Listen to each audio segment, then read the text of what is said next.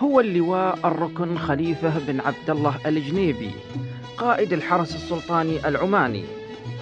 وقد تم تعيينه بمرسوم سلطاني رقم 76 على 2003 بتعيينه قائد للحرس السلطاني العماني.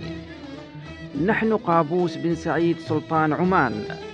بعد الاطلاع على النظام الأساسي للدولة الصادر بالمرسوم السلطاني رقم 101 على 96 وبناء على ما تقتضيه المصلحة العامة رسمنا بما هو آتي.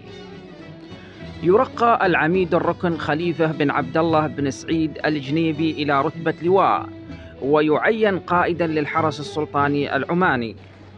المادة الثانية ينشر هذا المرسوم في الجريدة الرسمية ويعمل به اعتبارا من الأول من نوفمبر 2003 صدر في السادس من رمضان سنة 1424 للهجرة. الموافق واحد من نوفمبر سنة 2003 قابوس بن سعيد سلطان عمان. نشر هذا المرسوم في عدد الجريدة الرسمية رقم 755 الصادر في الخامس عشر من نوفمبر 2003 للميلاد. فنعم الرجل الأمين اللواء خليفة بن عبد الله الجنيبي. الذي حمل أمانة قيادة الحرس السلطاني العماني لأكثر من عقدين من الزمان.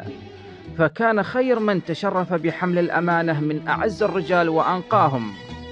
شكرا بحجم السماء أيها القائد الأمين.